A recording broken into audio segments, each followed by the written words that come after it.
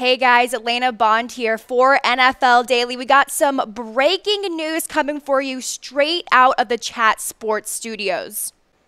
The Chicago Bears are expected to sign former Jaguars wide receiver Allen Robinson when free agency opens Wednesday, according to NFL Network insider Ian Rapoport. The deal is for three years and is worth 42 million, with roughly $25 million guaranteed, according to the report. Robinson's 2017 season came to an abrupt end after he suffered from a torn ACL in week one. Jacksonville allowed Robinson to hit free agency, opting not to tag the 61st overall pick in the 2014 NFL draft. The 24 year old Penn State product's best season was in 2015 when he caught 80 passes for 1,400 yards and scored 14 touchdowns.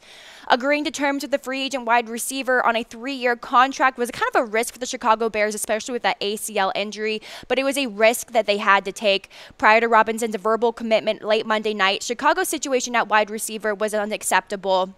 Only one Bears wideout caught more than 50 passes last season, and that was veteran Kendall Wright with 59, who's also an unrestricted free agent.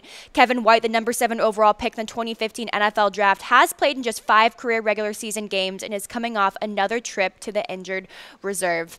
All right, guys, so that is the breaking news coming out of Chat Sports Studios. Allen Robinson is to sign with the Chicago Bears. So, once again, three year, $42 million contract for Allen Robinson. He's headed off to go play for the Chicago Bears. That was NFL Daily. I'm Lena Bond, and I'll see you next time.